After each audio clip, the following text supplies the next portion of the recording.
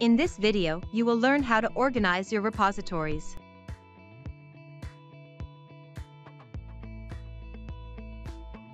Clicking on Find will take you to the Explorer. Here, you can switch between your model and object repositories, as well as quick access. Restrict the search to a certain model type.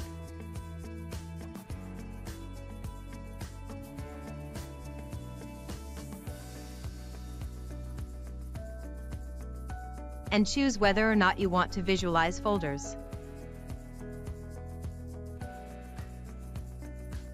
You can remove the filters one by one.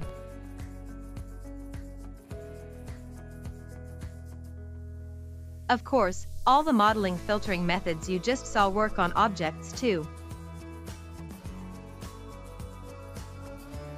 Click here to open an additional window.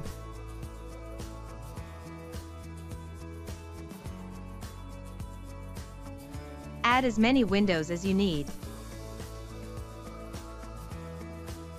And easily close them when you don't need one anymore.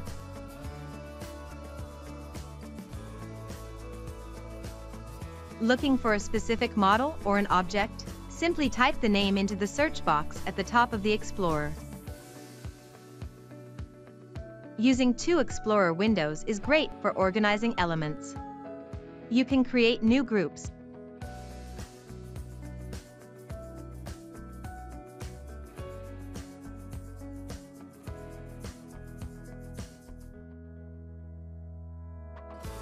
and easily drag models or objects from one window to the other.